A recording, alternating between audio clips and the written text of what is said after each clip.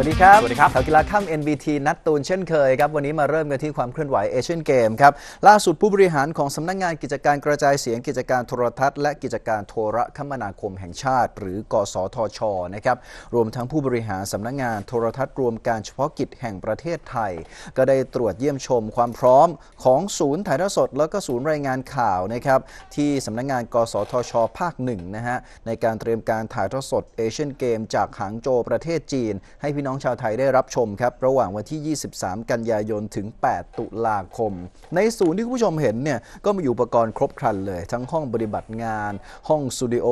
ห้องตัดต่อห้องควบคุมการออกอากาศ ซึ่งพร้อมใช้งานอย่างครบวงจร เต็มศักยภาพด้วยอุปกรณ์ที่ทันสมัย และศูนย์แห่งนี้เนี่ยก็ยังเป็นแหล่งเรียนรู้ ด้านการผลิตสื่อและเทคโนโลยีโทรทัศน์ได้ในอนาคตด้วยนะครับก็ที่ผ่านมาเนี่ยก็เคยใช้มาแล้วนะครับเป็นศูนย์ถ่ายทอดสดและรายงานข่าวกิจกรรมที่สำคัญของไทยในหลายรายการ ไม่ว่าจะเป็นอย่างโอลิมปิกที่ญี่ปุ่น กีฬาซีเกมที่เวียดนาม เพื่อให้ผู้ชมชาวไทยเนี่ยสามารถที่จะรับชมการแข่งขันกีฬาที่หลากหลายน่าสนใจ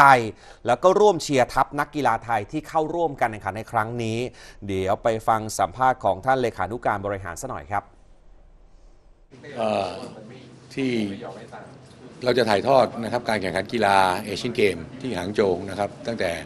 จริงๆคือตั้งแต่วันที่ 19 นะครับ แต่ว่าพิธีเปิดจริงๆ จะเป็น 23 กันยา ไปจนกระทั่งถึงพิธีปิดในวันที่ 8 ตุลา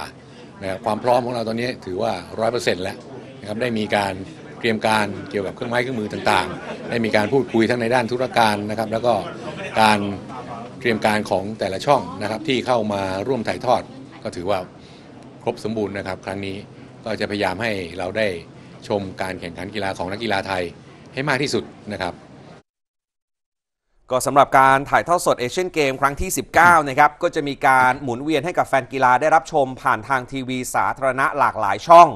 นะครับ ก็สามารถจะติดตามได้นะครับ ตั้งแต่เวลา 9 โมงเช้าถึงเที่ยงและบ่าย 2 ถึง 18 นาฬิกานะครับ โดยจะเริ่มถ่ายทอดสดวันแรก 19 กันยายนนี้ เป็นกีฬาฟุตบอลชายรอบแรก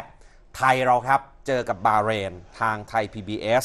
แล้วก็วอลเลย์บอลชายไทยเจอกับฮ่องกงทางช่อง NBT2 HD นะของฮะเรานะฮะ ส่วนพิธีเปิดการแข่งขันจะมีขึ้นในวันเสาร์ที่ 23 กันยายนครับ เวลา 19 นาฬิกา ก็ติดตามการถ่ายทอดสดได้ทางช่อง 5 ช่อง NBT2 HD แล้วก็ T Sport 7 ครับ